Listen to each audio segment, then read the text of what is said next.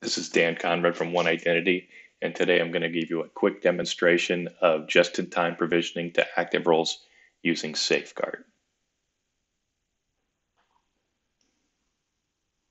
This is my environment. I have a, a domain here with some user objects, and you can see that they are disabled. And I'm going to go through Safeguard, and I'm going to check out this account right here called TempDomAdmin1. If I take a look at that user account, of course it's disabled, but it has only the default or the domain users group as the as the only group membership. So I'm going to go into Safeguard and check that account out. It's from the one identity domain. And I'm going to select the account, which is temp dom admin one. I'm going to go ahead and check it out. It's set for auto approval. So then when I take a look at that user object in Active Roles, which is a look at Active Directory, you can see that the red X is gone, so the account is now enabled.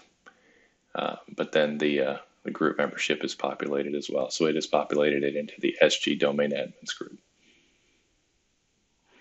And if I go do whatever I was going to do with that account, if I needed the password or if I needed a session, you can use it just like you would from any safeguard instance. And then when I'm done, I check it back in and it reverses the process. So let me refresh right here. So the account's now disabled again.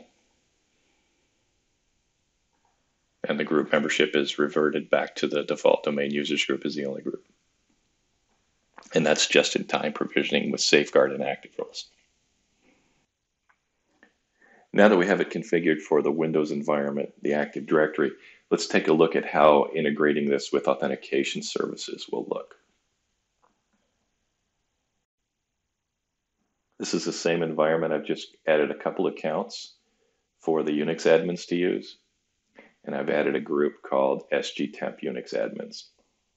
To be able to authenticate to the Unix platform, you need to be able to log onto that platform. And I'm controlling that on the CentOS through the host access control. And the SGTemp Unix admins is allowed to log on there. So let's go check out a user just like we did before. Check out a user account to use on that Unix platform. And I'm going to go to the CentOS. I'm going to check that out. I'm going to pick the account. In this case, I'll take SGTemp Unix Admin 1. And I'm only allowing session requests for this. I'm not allowing users to check out the password. Go ahead and check this out.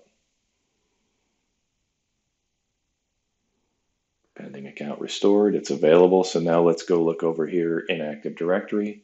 So that account has been restored. And the group membership is populated to allow him to do that. So now let's launch a session out to that Unix platform.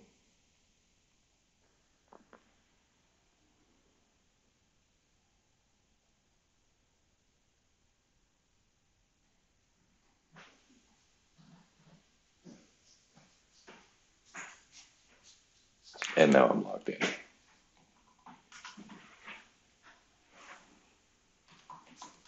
Complete my session, do my work, check my session back in.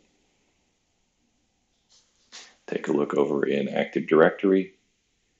The account is now disabled and the group membership has been reverted. That's how it works when you integrate it with authentication services.